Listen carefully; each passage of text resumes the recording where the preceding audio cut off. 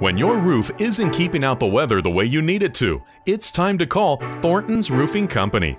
Our family owned business proudly provides roofing services for both home and business owners throughout the Abilene, Sweetwater, Lubbock, and San Angelo areas. Specializing in emergency roof repairs and insurance claims, we'll help make your roof right again. Call today to get started.